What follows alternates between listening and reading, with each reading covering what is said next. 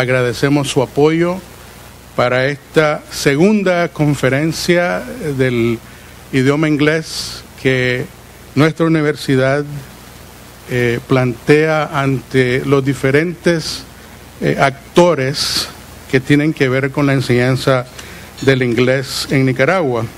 Esta vez nuestra conferencia tratará sobre la integración de tres cosas importantes, talento, tecnología e idiomas, para responder ante la necesidad de obtener empleos, de obtener más inversión en Nicaragua desde la industria de los BPOs o de los call centers.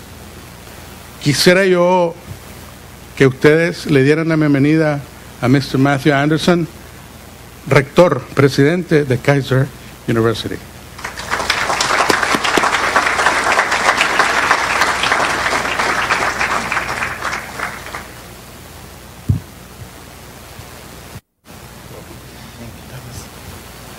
Thank you, Douglas. I Muchas appreciate gracias, that. Douglas. The first issue is why are we studying English to begin with? Why are we spending this much time and attention in the area of English? El primer punto es por qué le estamos dedicando tanta importancia al idioma inglés. ¿Por qué estamos eh, poniéndole tanta atención a este idioma? Already there are 2 billion English speakers throughout the world. A través del mundo ya hay dos billones de personas parlantes o que hablan el idioma inglés. And as most of us know, it is the official business language. Y como la mayoría de nosotros sabemos, es el, el lenguaje oficial de negocios. And as a result, English is what's going to help us to break down the barriers across the world. Como resultado, es el inglés el que nos va a ayudar a votar o a, a bajar todas las barreras que están a través del mundo. And it has now become the standard in most of the business schools throughout the world. y eh, es el idioma estándar en todas las escuelas de negocios a través del mundo. The economic impact as a result of the BPOs is roughly $80 million. En estos momentos, el impacto que significan las compañías de servicios de tercerización en el país es de 80 millones de dólares. And if we're not able to provide more English speakers, we could lose that economic impact. Si no podemos eh, satisfacer esta demanda, eh, podemos perder esta este gran inversión. On the bright side, Eh, por el lado amable o por el lado positivo, with just a little bit of tweaking and a little bit of fun- funding, we can double that economic impact to roughly $160 million. con unos pequeños cambios eh, podemos eh, doblar lo que es esta cantidad y llegar a los 160 mil millones. The third issue that has to be addressed is the following. tercer punto que necesitamos tomar en cuenta es el siguiente. Educational organizations are not able to deliver a sufficient amount of quality outsourcing agents. Las compañías o, todo lo que es la industria eh, y, y el campo de la educación no son capaces de dar los recursos necesarios para eh, las compañías de tercerización de servicios, esos recursos humanos necesarios. To get a better picture of let me compare Nicaragua with some of the other countries in Central America. Para pintarles una mejor eh, foto o una mejor imagen de eh, cómo se comportan otros países comparados con Nicaragua, In Honduras, there are roughly 20,000 outsourcing agents. en Honduras se tienen alrededor de 20.000 agentes. In El Salvador, there's roughly 25,000 agents. En El Salvador, un aproximado de 25, In Guatemala, 25 mil, perdón. Guatemala, 35,000 agents. En Guatemala, 35,000. In Costa Rica, 48,000 agents. Y en Costa Rica, 48,000. Can anybody tell me how many agents are in Nicaragua? Nicaragua, si alguien me puede mencionar o, o decir cuántos hay, 6,000. 6 mil. So you're looking at comparing the 6,000 with 48, with 20, to 35. Entonces estamos comparando esos 6 mil con 48 mil, 30 mil, 20 mil en otras áreas de la región. And they continue to increase. Y en las otras áreas de las regiones también siguen creciendo. Next problem is education, El próximo punto es la educación, which is my area. lo que es nuestra área o mi área. And we need to shine the light on ourselves and we need to improve. Necesitamos poner la luz o enfocarnos en, en nosotros porque necesitamos mejorar. Number one, It is my opinion, and I think the opinion of many people in education, Primeramente, es mi opinión y yo estoy seguro que eh, de muchos en el área de educación we need to have more qualified teachers necesitamos tener más eh, profesores calificados who can train to the needs of the outsourcing industry. que puedan ser capaces de entrenar para satisfacer las, necesita- las necesidades de las industrias de tercerización de servicios. And I think one of the problems, in, in, my, in my estimation, we need to have what I like to call verifiable, commonly recognized standards for improvement and accountability. Es que necesitamos estándares eh, que sean verificables para así poder proveer educación de calidad. Let me give you an example. Por, eh, déjenme darles un ejemplo.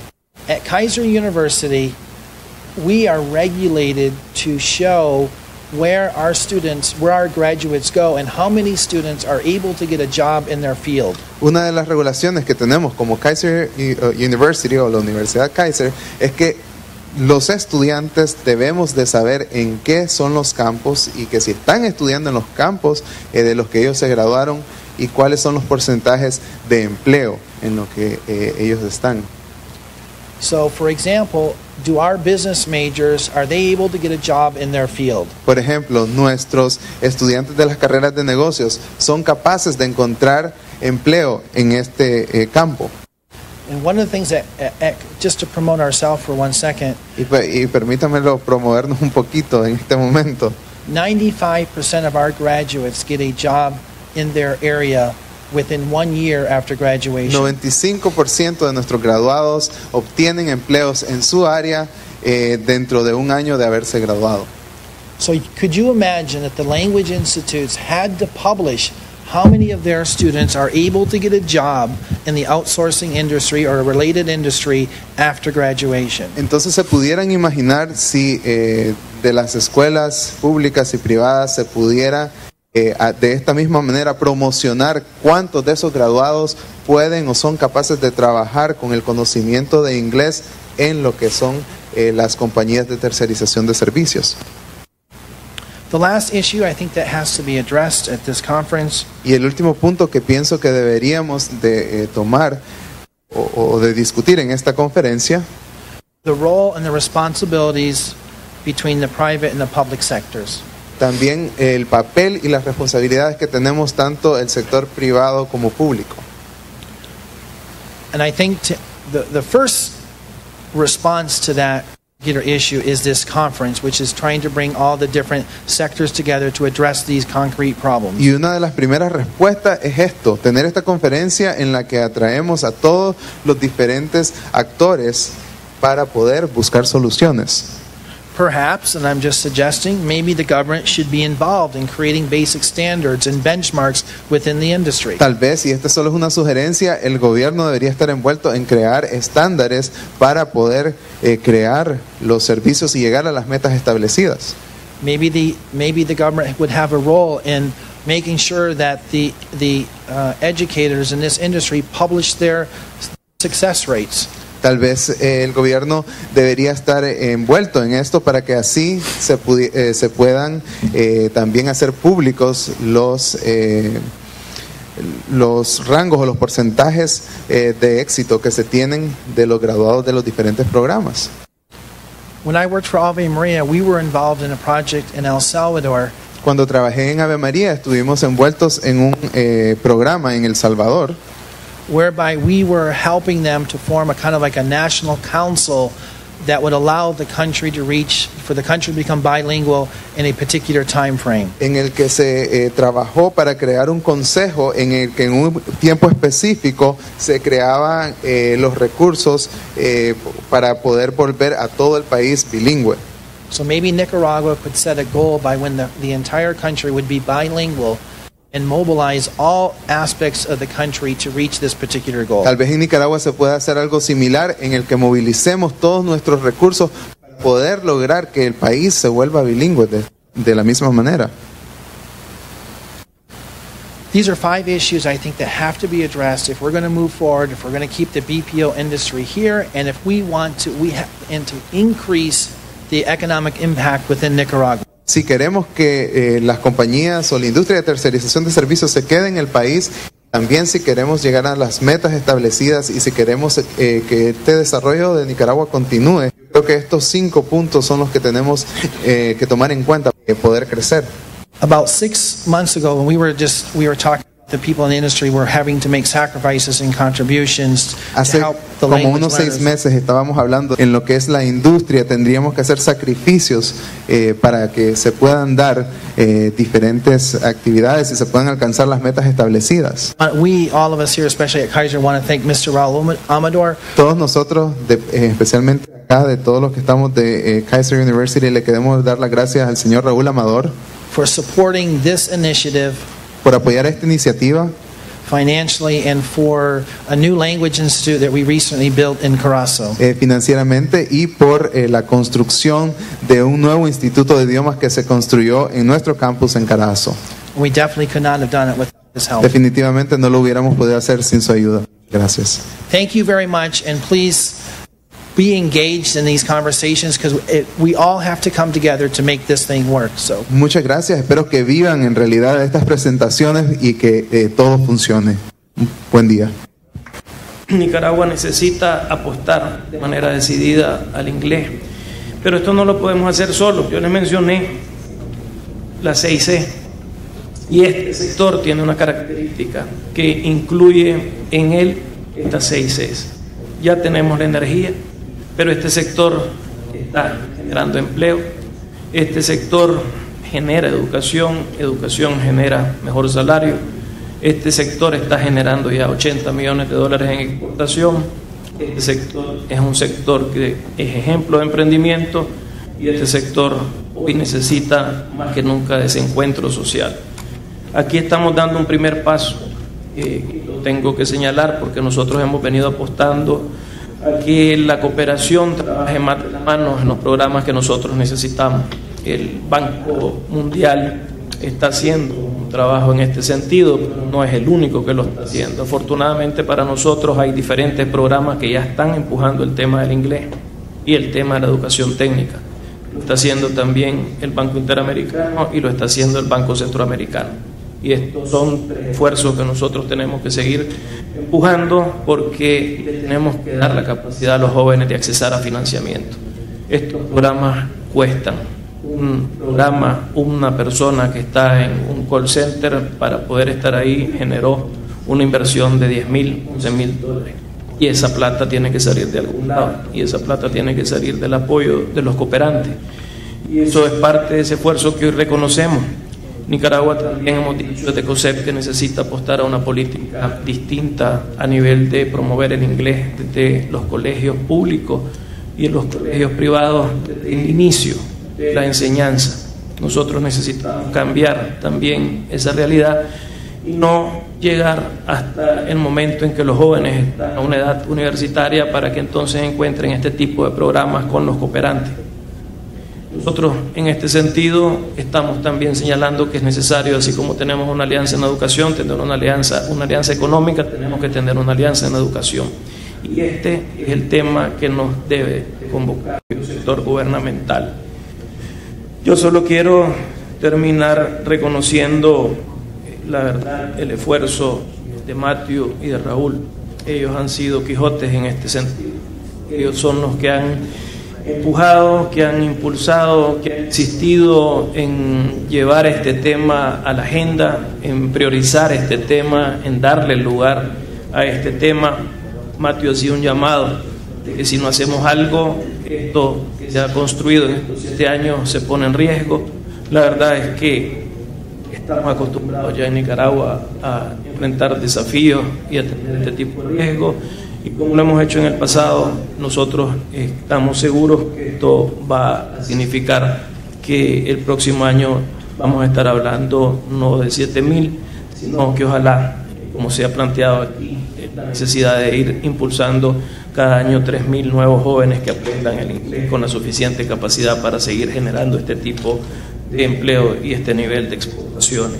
Felicitar en este sentido a Matthew, felicitar a Raúl, desearles a ustedes que esta sea una realmente provechosa jornada de trabajo y que permita, eh, como lo plantea Mateo en sus cinco puntos, que aquí se pueda desarrollar una estrategia que por supuesto vamos a estar empujando y acompañando y que, como se dijo al principio, que apueste al talento de los jóvenes nicaragüenses, que apueste a esa tecnología que necesitamos traer a nuestro país y que esto también pase porque seamos un país bilingüe. Muchas gracias. Agradecerle a Matthew, ¿verdad?, por este esfuerzo que está haciendo Kaiser University, por sus palabras también, eh, por el reconocimiento. Realmente eh, no ha sido tan, tan grande pues eh, lo que hemos estado haciendo, pero muchas gracias Matthew. Por, a Rufo y a José Adán por acompañarnos, ¿verdad? José Adán ha sido un gran eh, entusiasta, ¿verdad? Para que las actividades que pueden generar fuentes de trabajo, sobre todo fuentes de trabajo dignas, ¿verdad? Eh, puedan ser promovidas en el país. Esta, este, esta industria es una industria que definitivamente le cambia la vida a miles de personas. Y hoy vamos a ver algunas experiencias en el mundo que, que son pues eh, extraordinarias, porque el, sacan de la pobreza a millones de personas, ¿verdad? Es lo que ha sucedido al menos en el, en el mundo, ¿no? Y estamos apostando a eso nosotros, un reto bien difícil. Agradecerles a todos, eh, agradecerle también al equipo de, del Grupo Invercasa, que Roberta López, que está acá con nosotros, María Eugenia Calleja, que nos apoyaron en la, preparación de la presentación. Eh, este, y bueno, está también aquí con nosotros otro entusiasta, don Luis Constantino, que siempre ha estado presente en todas las reuniones. Quería agradecerle públicamente al director del Banco Mundial en Nicaragua y al ingeniero Raúl Barrio, que no, no descansa, ¿verdad?, en, su, en sus análisis. Creo yo que eh, entre Raúl y Constantino tienen, y Luis Constantino tienen una una capacidad de análisis interesante que ha hecho una contribución importante al país, en Nicaragua, no solamente en esta, evidentemente, en esta industria. Eh, rápidamente, este, nuestra, nuestra presentación va a girar alrededor del, contenido, pero sobre todo queremos hacer énfasis en el tema de desarrollando una nueva estrategia. Eh, es fácil, muchas veces hablamos de estrategia, pero, pero muy pocas veces las estrategias dan resultados. La estrategia tiene que decir claramente cuál es la ventaja competitiva, el alcance que va a tener, a qué mercados va a llegar, ¿verdad? Y cuantitativamente tiene que tener una meta clara. En esta industria hemos ido construyendo una estrategia. Tenemos una ventaja competitiva en el mundo. Costos, servicios, infraestructura, nosotros tenemos una ventaja competitiva. Se está viniendo seguridad, Nicaragua tiene seguridad, se está viniendo la inversión a Nicaragua. Muy rápidamente en esta industria. Y por eso es el problema que tenemos, ¿verdad? Que no tenemos cómo crecer porque tan rápido, la demanda es más rápida, está creciendo mucho más rápida que la capacidad de oferta que tenemos de los recursos. Si nosotros tuviésemos 3.500 personas con el nivel de proficiency que necesitamos en inglés, ¿verdad? Eh, al año, nosotros las podríamos contratar perfectamente. Si tuviéramos 10.000, nosotros las podríamos contratar perfectamente. Este, esto es bien interesante, porque Nicaragua tiene unas ventajas competitivas con respecto a Costa Rica, por ejemplo, que tiene 30, 40% más de salario. Panamá, que tiene también unos salarios más altos, y Guatemala, que tiene un salario más alto. Entonces, desde el punto de vista de costo, nosotros representamos una tenemos una ventaja competitiva y hay que aprovecharla. Y ese es un poquito el tema, ¿no? Entonces, la, el tema de la, desarrollar una estrategia y la estrategia no es que uno eh, tiene que ser, eh, no es que uno la logra encontrar y es estática. La estrategia es dinámica. Entonces, Nicaragua y los, y los stakeholders, todos los que participamos en esta industria, tenemos que construir y todos aportar a esa estrategia, poner nuestro granito en la arena, ¿verdad? Como lo hace de la empresa privada, las instituciones de educación, Pro Nicaragua, que es eh, probablemente ha sido calificada como de la, mejor agencia de, de inversiones, eh, de promoción de inversiones de la región y de América Latina, creo. O sea, tenemos, tenemos eso abona a la ventaja competitiva nuestra. tenemos una gran promoción de país. Entonces, este tema de la estrategia, que es dinámico, tenemos que entre todos irla eh, haciendo que evolucione y que se adecue a las necesidades que nuestras empresas locales y las empresas internacionales están teniendo. Entonces, eh, este es el tema de la estrategia. Y lo otro importante es un plan de acción. O sea, tienen que las actividades ser identificadas claramente. El reto es durísimo, es dificilísimo. O sea, hay un ruido ahí molesta. Eh,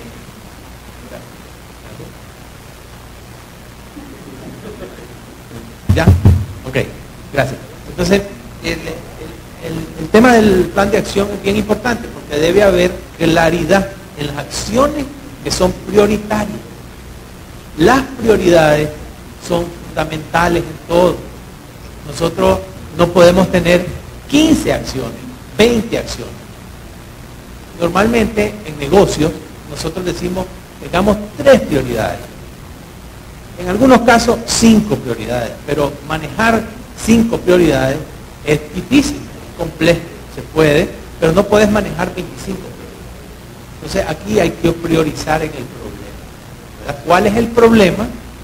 Identificar el problema, ¿verdad? Como decía, si mal no recuerdo, e, e, era Einstein que decía que si yo tengo una hora para analizar, para, si me dan una hora para resolver el problema de la Tierra, decía Einstein, si me dan una hora para resolver el problema de la Tierra, 60 minutos, 59 minutos los dedicaría al análisis del problema y un minuto en la solución. Y es cierto, si nosotros tenemos claro cuál es el problema, la solución es mucho más fácil. Entonces, esa es parte de todo este proceso de, conciencia que estamos tratando de crear en conjunto con el COSEP conjunto con Kaiser University, ¿verdad? En conjunto con SPI Global, Saitel eh, y todas las empresas que estamos, el Banco Mundial, todos los stakeholders, Pro Nicaragua, ¿verdad? Que estamos en, este, en, este, en esta aventura tan difícil, no está fácil. Ya van a ver que no está fácil, pero es una aventura eh, que creemos nosotros que se puede lograr. Pues. Como todo en Nicaragua, ¿verdad? Ha sido difícil. Sin embargo, hemos logrado un montón de cosas, un gran avance. Esta es la primera vez desde 1914 que Nicaragua lleva 25 años sin conflictos eh, militares, sin guerra. Llevamos 25 años, desde 1914. Si ustedes analizan historia, esta es la primera vez. Entonces tenemos que aprovechar esa otra ventaja competitiva que tiene el país ahora, ¿no? que es la paz. Si estamos tratando de priorizar e identificar el problema, entonces hemos dicho, ok, tenemos el problema, de que no hay suficientes recursos, se nos están agotando los recursos con la calidad, porque ya van a ver que estamos produciendo recursos que hablan inglés, pero no con el nivel y la y el proficiency que nosotros necesitamos. Eso es lo que vamos también a ver más adelante. Esta es otra gráfica bien importante que nos ubica a dónde estamos, ¿verdad? En la industria. Estos son los países, India, Filipinas, México, Costa Rica, Guatemala, El Salvador, Honduras, Panamá y Nicaragua, están colocados en, eh, eh, por orden por orden de exportaciones, si mal no recuerdo, por orden de exportaciones, ustedes pueden ver que India, con un millón de personas, tiene una población de un mil millones de personas y produce 15 billones de dólares en esta industria. 15 mil millones de dólares en esta industria. Filipinas, 14 mil millones de dólares. Lo impresionante de Filipinas, por ejemplo, aquí teníamos a alguien de Filipinas viene por la tarde. Eh, pero este, habíamos dicho que en Filipinas hay casi un millón de personas trabajando, ¿verdad? Eh, y produce 14 mil millones. Si mal no recuerdo, Alejandra, esto se hizo en como en 10 años, ¿no? Un poco más, como en 12 años, algo así. pero no son 20, pues no son 30 años. Lo que quiero decir es que esta es una industria nueva. Y, hemos descubierto que ahí hay un mundo de oportunidades. Y entonces el ejemplo es Filipinas. Para mí el mejor ejemplo es Filipinas, porque la India tiene muchísimo más tiempo de estar en esta industria, ¿verdad? Pero Filipinas es, un buen ejemplo. I'm sorry, Joe, my Pimpinela partner. Yes, no, it's, it's important to note also, as reported um, about a month and a half ago. So the Philippines have officially reached over a million people um, uh, that are actively employed as of the first quarter of this year. So it means they're at, on average, over 100,000 people over a six-month period since these numbers were compiled. So it's, a, it's an incredible fact to think about. Ok, entonces aquí pueden observar ustedes que Costa Rica tiene 48 mil, ya lo decían anteriormente Matthew y, y, José Adán, Guatemala 35, El Salvador 25. Miren las exportaciones, ¿verdad? Y el porcentaje de la población que trabaja ahí. Nosotros tenemos el más bajo porcentaje de la población, punto uno de un por ciento. ¿Ok? Entonces, la pregunta es, ¿por qué nosotros con punto uno de un por ciento no podemos doblar a punto dos? Si aquí está Panamá, aquí está Honduras, aquí está El Salvador, ¿cuál es la diferencia? ¿Por qué no se puede? Esa es la, gran duda, la gran pregunta. Si hay la demanda, o sea, el mercado global existe, demanda hay. SPI Global anunció que, que necesitaba crecer a mil agentes a diciembre, Alejandro. Eso ahí lo acabo de leer, ¿verdad? Entonces, eh, la, la demanda existe, las compañías están eager por incursionar en Nicaragua. Entonces, ¿por qué no podemos nosotros duplicar esto? Si nosotros fuésemos capaces de duplicar este, y ya lo mencionó José Adán, estaríamos produciendo 160 eh, a 190 millones de dólares en exportaciones. Y pagaríamos, si doblamos los salarios, pagaríamos 90 millones de dólares en salarios. Es un gran agente para sacar de la pobreza a Nicaragua. Es un gran agente para desarrollar económicamente el país, esta industria. Entonces, aquí están los datos. Miren las exportaciones. Ya lo mencionó eh, José Adán. Casi 800 millones de dólares Costa Rica, con el 1% de la población. Hagamos números. Nosotros deberíamos de poder llegar al 1%. No tenemos, no hay por qué no llegar al 1%. Podríamos tener, con la población que tenemos, ¿verdad? Podríamos tener 60 mil agentes. Con 60 mil agentes nosotros podríamos exportar casi 900 millones de dólares. Ahí está, aquí está una solución. Solo hay que resolver el problema de los agentes. Pero, o sea, porque la inversión, digamos, en la inversión privada existe. El riesgo estamos dispuestos a tomarlo. Sin embargo, tenés este grave problema, ¿verdad? Entonces, se puede hacer, no es necesario, no, estamos diciendo que eso se va a lograr en dos años, ni en tres, puede tomarnos diez años, pero llegar a exportar 900 millones de dólares cuando nosotros exportamos en café 360 y em, empleamos 250 mil personas que nosotros somos cafetaleros. El niño de 10 años que manda a trabajar, es prohibida, eh, en nuestra finca es prohibido el que los niños trabajen. Eh, hay un programa de lucha infantil, ¿verdad? De lucha contra el trabajo infantil y de promoción de la educación, hay escuelas y todo, ¿verdad? Sin embargo, en, si ustedes van a la zona cafetalera de Matagalpa y Jinotega y se paran en cualquier parada de buses y le preguntan a cualquier niño menor de 15 años si trabaja, todos los niños menores, casi todos los niños menores de 15 años cortan café.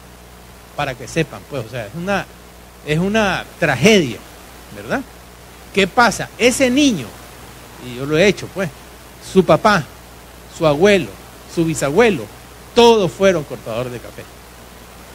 O sea, el niño no ha podido salir del círculo vicioso de ser cortador de café. ¿No les parece una tragedia? Imaginémonos que fueran nuestros hijos. Entonces, ¿qué pasa? Realmente cuando uno observa esas cosas, es, que dice, hombre, nosotros tenemos que hacer un trabajo de más inteligencia y evolucionar de la economía agrícola, ¿verdad? Productores de materia prima que no se transforma, a la economía de la inteligencia. Eso es lo que nosotros estamos tratando de hacer, ¿verdad? Eh, con esta industria, con esta inversión. Entonces, esto para que tengan una referencia. Okay. And if I could, we're going to take this kind of one at a time on the slides. You can just hold there for a second.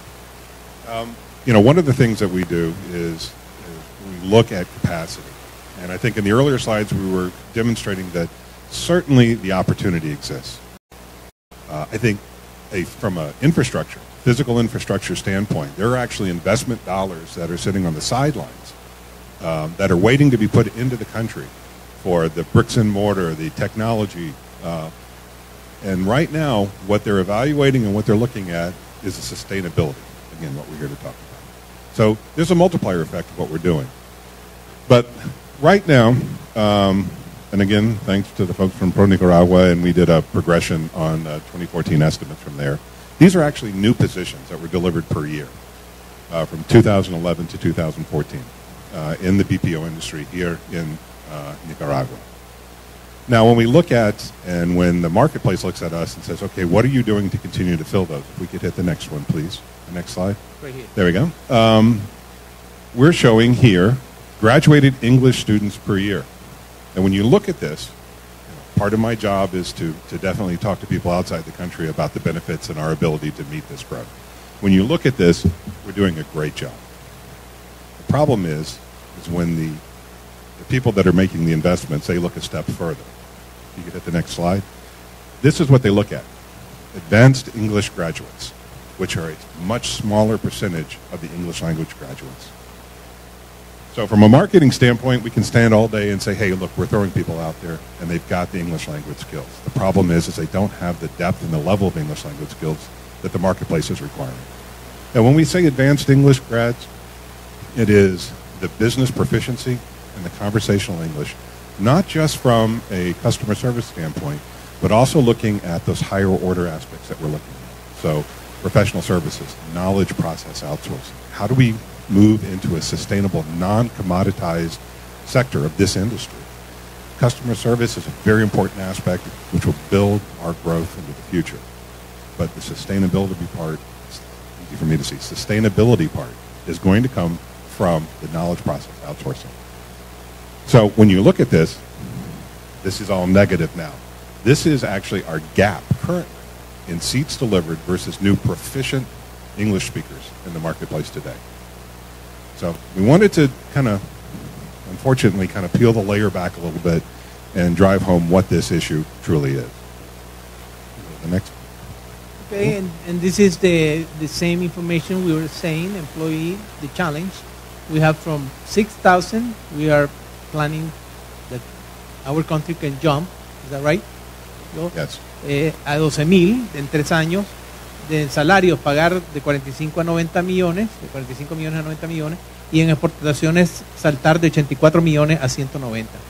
Nosotros pensamos que esto es viable, pero para eso necesitamos eh, proficiencia en el inglés de 7.000 estudiantes, un balance de 7.000 estudiantes aproximadamente. Este, este número lo estuvimos discutiendo eh, con el ingeniero Raúl Barrios y con Luis Constantino en una conversación que tuvimos, ¿verdad? Eh, necesitamos un balance aproximado de 7.000 estudiantes y sacar de ahí 2.000 graduados por año. De esa manera nosotros podemos sacar aproximadamente otros 6.000 agentes y estar en esta posición en tres años.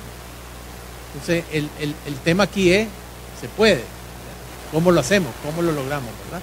Pero ese es el, ese es el reto, prácticamente, es un reto eh, bastante grande, difícil, ¿verdad? Pero si todos los stakeholders está- estuviésemos de acuerdo y si la inversión llega, pues eh, eh, aquí uno de los grandes problemas es cómo incentivamos a instituciones de educación de inglés para que ellos hagan las inversiones que tienen que hacer para producir este recurso. Y con esto, the Pimpinela Group is over. Hicimos una encuesta para ver cuál era el interés de los estudiantes en participar en la industria. Y 98%, un 98% de todos los estudiantes encuestados tenían interés en poder entrar en esta industria. ¿Por qué? Porque les ayuda, entre otras cosas, a poder finalizar sus estudios, les ayuda a adquirir una, una cierta experiencia laboral, les ayuda a, crear una red eh, de contactos y un 98% estimaban que sería una cosa muy interesante para ellos.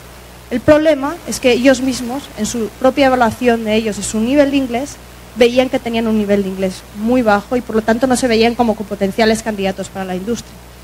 Eh, de, todos los estudiantes que, pudimos hablar, un 46% de ellos habían trabajado en la industria eh, y nunca habían recibido como tales de la industria un entrenamiento de inglés, sino sobre todo cuando se les había contratado, se les había entrenado en temas eh, de habilidades técnicas, manejo de computadora básica eh, y un poquito de temas de comunicación. Pero la industria, sobre todo a nivel de BPO, espera, espera que la persona ya venga con el nivel de inglés adecuado.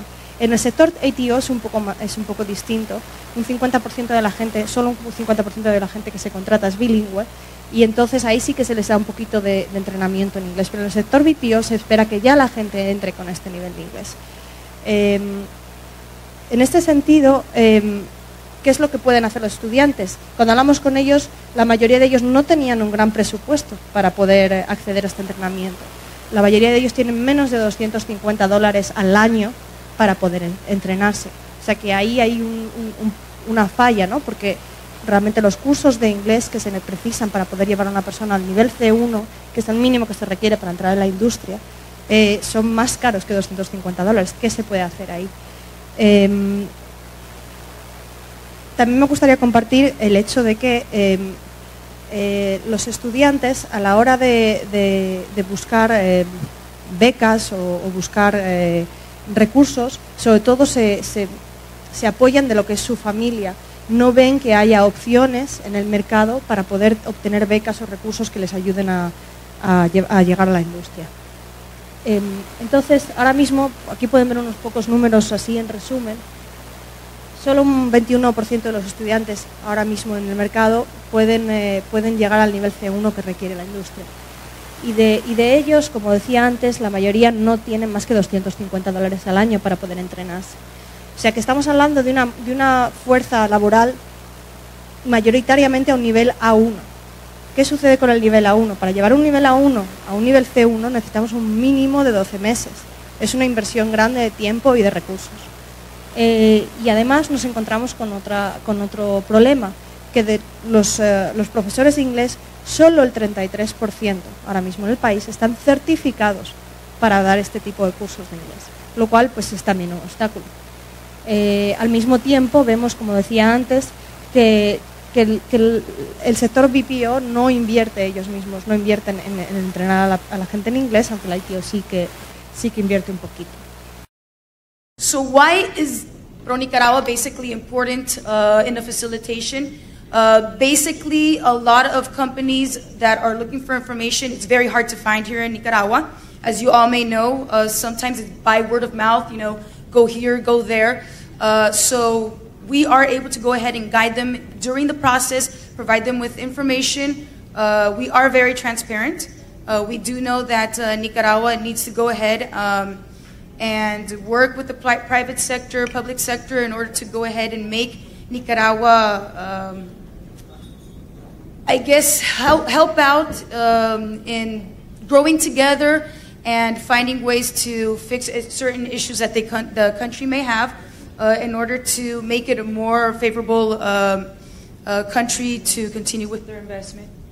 Uh, so uh, basically, it is very important to go ahead and provide them this information because the more information they have, uh, the easier it is for them to go ahead and evaluate the country.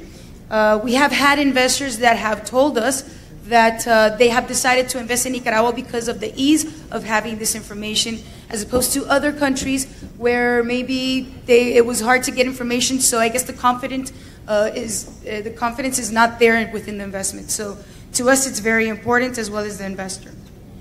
So as far as the tools for promotion, uh, this is basically uh, the tools that the, the promotion department has to work with. Uh, we have, for example, the communications department that I mentioned earlier, uh, where they work on promotional material, also uh, material for local international events, and digital material. Uh, for promotional material, you're able to see there in the bullets that we have information on the institution, what Pro Nicaragua does, how we are able to aid uh, the investor. Aside from that, sector brochures and export brochures.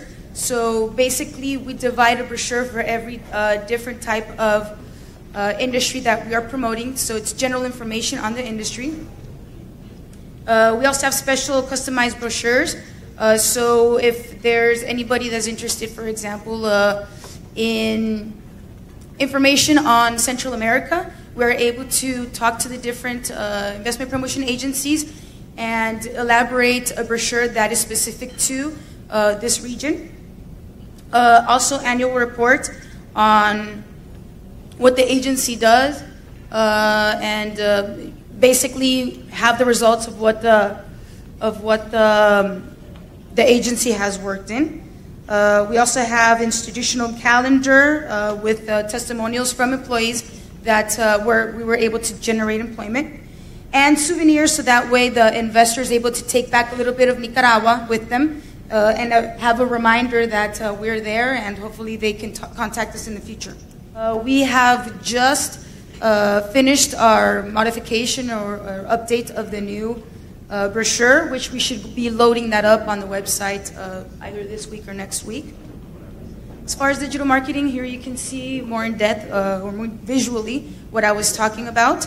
Uh, the website, uh, what is very useful aside from the website, a lot of investors are looking for general information aside from specific information. So there's a cart that uh, investors can use. So once you're in different uh, pages within the website, you can go ahead and put that in your cart and then just go ahead and download all the information or print it if you'd like. So trying to facilitate as well the information to uh, the investor. The application that we have uh, has basic information, where we're located. A lot of people don't know where Nicaragua is at. They confuse us maybe with Nigeria and think that we're in Africa or something like that. So basically, trying to also educate uh, a little bit about what uh, Nicaragua has to offer. We have also a monthly newsletter where we have investors as well as uh, Nicaraguans that are subscribed to this newsletter, where you are up to date with the, the events that we are off, that we attend, that we participate at, as, as well as new investment that we have been able to attract, and other types of news that is relevant to Nicaragua and investment. We're going to look at three things today. What are conversational competencies? What does that actually mean? Um, why are they important? And how can we help learners achieve them specifically? And one of the reasons uh, they've become important in this century is because of the CEFR, the Common European Framework. How many of you have heard of the CEFR before? How many of you, if I asked you five years ago, would, would not have heard of it? Uh, relatively new, you know, but, but today the CEFR, there, there isn't a publisher today who publishes ELT materials who doesn't put the CEFR level on the front cover or the back cover. It's become so standardized um, in terms of how we describe uh, the, uh, someone's ability, somebody's competence in a language. And it applies to any language, Italian, French, German, Chinese. Um, but uh, but in, in, this case, we're talking specifically about English. But what is the competence of the student? And it breaks it down into basic user, independent user, proficient user. And when the CFR talks about what a student should be able to do at any particular level, they use it in, they, they present it in can-do statements, that the student is, that the student can do something or they're able to do something. So it's really about their ability to communicate, their ability to, to communicate their needs, to understand others as well. And the CFR basically breaks these can-dos into, into communicative competencies. And these include linguistic competence, which is the knowledge and mastery of language. Now, traditionally, linguistic competence is pretty much how we looked at communicative competence. It's if, if you knew the grammar, if you were able to read in English, for example, you had linguistic competence in the language. But in fact, we know that's not true because there are many, many students around the world who can pass a test and get very high grades on a grammar test, and they can read text, but they can't speak a word and they can't understand one. And, and you see this very often in U.S. universities where students will come from Asia who will get a very high score on, the, uh, on, on, on, a test showing the gram- grammatical ability, but then they step into a classroom and they can't understand anything and they can't communicate. And in Latin America, I hear this from teachers all the time. They say, oh, I studied English for years, but I can't understand a word. Um, or they turn on CNN and they freak out. Um, so there's a, there's a gap between your ability to, to, to, in terms of communicative competence and linguistic competence, and it's something we have to look closely at. Secondly, the CFR looks at sociolinguistic competence. And this is the missing link in, in, in, in uh, many ways that we looked at it in the previous century. And it's the ability to interpret and communicate social meaning. And this is really key. This is really key. To be able to really function in English, you need to be able to do this. And the third type of competency is pragmatic competence, and, which is basically the ability to negotiate and adapt in negotiation, uh, in interaction. That when you're interacting with someone in English, You're able to hear what they're saying, adapt to it, um, negotiate meaning between the two of you. It's basically thinking on your feet in communication. And we're going to look at all three of these competencies today. Now, the other issue which we've heard about today and is crucial in terms of uh, talking about English and communicative competence and conversational competence is that Nicaragua is in, is in a position to be able to compete in a global economy. Um, it's not just about Nicaragua, but it's about Nicaragua's place in the world economy. Um, Nicaragua is competing against the whole world, and in particular competing in the region um, against other countries. I just came from Honduras uh, yesterday, and in Honduras, what do they talk about? Call centers. Um, I speaking with people in uh, Guatemala, what do we talk about? Call centers. Um, so there's a lot of competition in terms of getting that kind of business and bringing it to, to Nicaragua specifically to keep it competitive. The other thing which is a big shift in this century, and many of these things began before the century began, but they've really taken hold in the last 15 years. Um, English, moving from English as a foreign language, which is seeing English like Italian or French or any other language in the world, to English as a life skill. Um, this is a statement from American ambassador to Cambodia made in 2008. He says he's talking to a group of teachers at a conference in Cambodia. And he says, you're doing more than just teaching a foreign language. You're teaching a life skill that would be crucial to the future prosperity of this country. English, as I have often stressed, is no longer a language. It is instead a tool, a weapon, a vehicle. Now, if you think about it, imagine if your students didn't have computer skills and they went out into the world to get jobs what would the chances be? Computer skills are a basic life skill. It's something that anybody needs in order to get a job today. English has taken that place as well, where English is expected. If you start looking at job uh, openings, you uh, go on the internet and look at job openings, they always have English proficiency. Some level of English proficiency is required as well. The other thing we need to consider when we talk about conversational competence is the EFL setting, the English as a foreign setting, which is, which is what Nicaragua is that your students have a certain number of hours a week in, in a classroom where they're studying English. Maybe it's two hours, maybe it's eight hours, but it's a limited amount of time that they have inside an English classroom.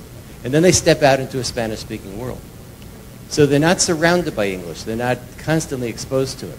Now, one of the big differences in this century from the last century is they're exposed to a lot more English today than they were 15 years ago. Um, the internet, music, uh, video, movies, etc. They will be exposed to more English. But that's not the same as having to step outside and go to the store and buy something, where you have to interact in English. It's not the same as getting into a conversation with somebody in order to get your needs met. So it's that interaction and it's that constant bombardment of being surrounded by the language and paying attention and hearing things and learning things just from the environment. Uh, your students are learning what they learn in the classroom, and then they're stepping outside the classroom, and stop, the learning stops at that point. And so in an EFL setting, lack of exposure is a big deal. And if lack of exposure is a big deal, we need to make up for it in the classroom time. That the classroom time has to be more intensive and more thoughtful in terms of what we're, how we're using that classroom time. And then the other thing which is quite different, that when students study in an ESL setting, for example in the United States or in the United Kingdom, the classes, more likely than not, are, are multilingual. Um, there's a Chinese student, a Spanish speaker, a Japanese speaker, a Russian speaker. And they have to use English in the classroom. Otherwise, you can't talk to your classmates. So the motivation level is quite different. Your students all speak Spanish. They don't need English. So that means that we have to work doubly hard as teachers to make sure that communication is going on in the classroom. We need to motivate them more. So in an EFL setting, learners need multiple exposures to new language. We need to make sure that they're getting multiple hits, not just once. When we teach new language, they need to get multiple hits. They need multiple opportunities to practice that language. We need to think of a classroom in, a, in an EFL setting as being like a rehearsal for real life because the students are not going to get that practice outside the classroom like they would in New York. So we need to bring it in the classroom. And they need intensive and systematic recycling in everything we do. We need to keep bringing language back so they get more practice with it. Now, this is my experience with the call center. Um, I have uh, my IT support at home. I, I, work on my computer at home. I work at home now. And when I need help with my computer, I call this IT center called iYogi. I, I love their thing. It's great tech support, good karma. That's, it's very appealing.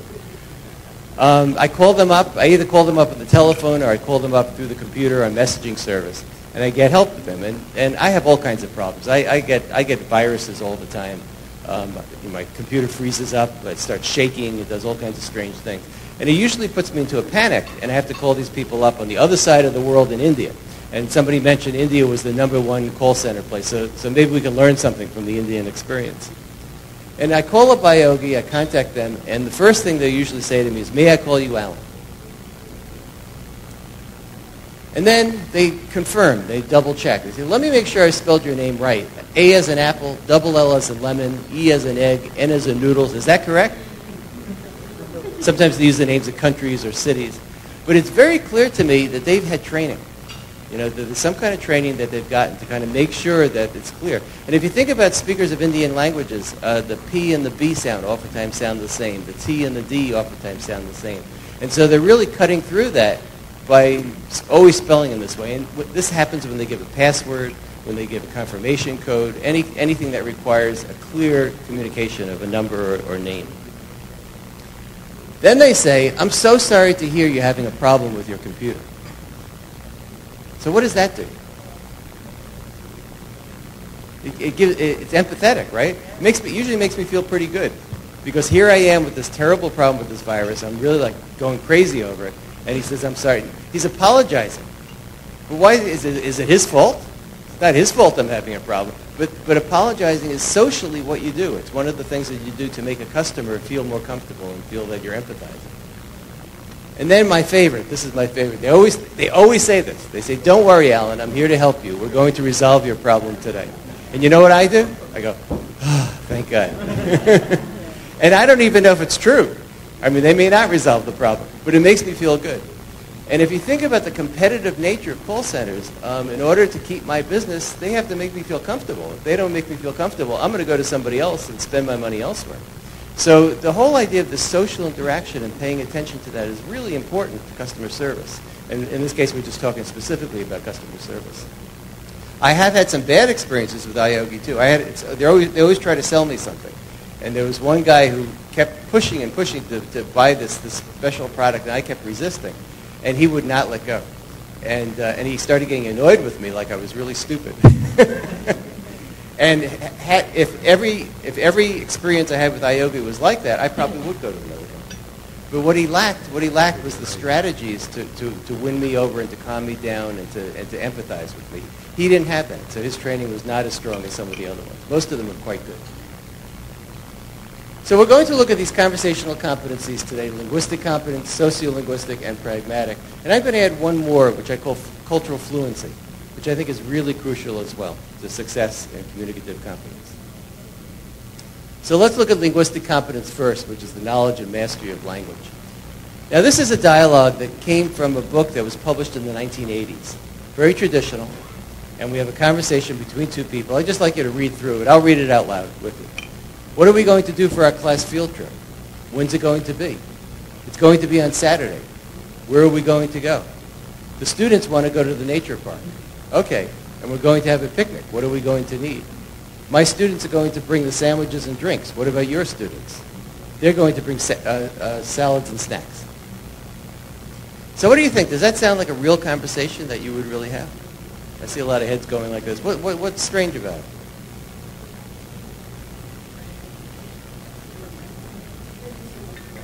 Just listening to form. What form are we looking at? Be going to, right? It's that be going to. Be go- almost every sentence in this conversation has be going. It's almost as if I was to walk up to you and say, hey, let's have a conversation, usually be going to. I mean, you would never do that. It's peculiar. But at that time, building in the grammar and, and, and, and having students see it a lot, there was value to that. There's value to having students sort of get that multiple hit.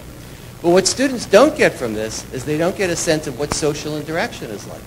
There's nothing social in here. Actually, I take that back. There are, there are two things social. Any, anybody see anything social in there? Okay. Okay is social, because okay is a way that you show acceptance, right? And then the other one is, and what about your students? And what about, right? Uh, to sort of change the topic or make an offer of some sort.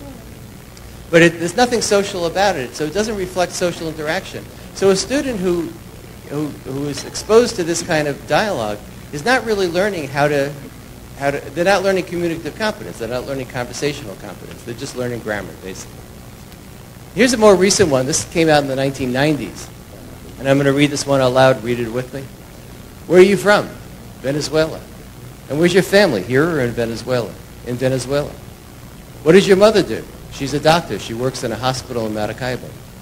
Do you have any brothers or sisters? I have a sister and a brother. One's a teacher and one's a nurse. How old are they? My sister's 20 and my brother's 26. So how about this one? Does this sound like a real conversation? What was that? No personal connection. What makes you feel like it's f- filling out a form? So it was like an interview kind of thing, right? I had a teacher at a conference once look at this and say, that's not a conversation, that's an interrogation. When I went through customs, this is, this is what we talked about. Where are you from? Why are you here? How long are you here for?